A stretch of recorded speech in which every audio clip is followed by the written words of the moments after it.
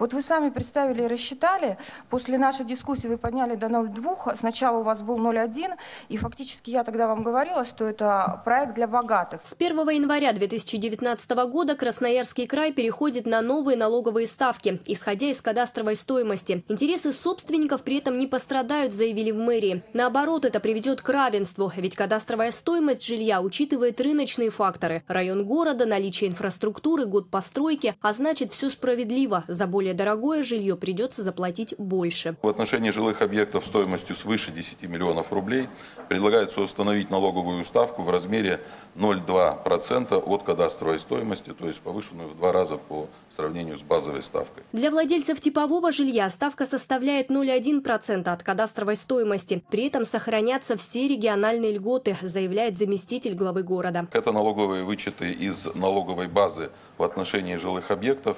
Например, за квартиру э, налог будет уплачиваться за минусом 20 квадратных метров.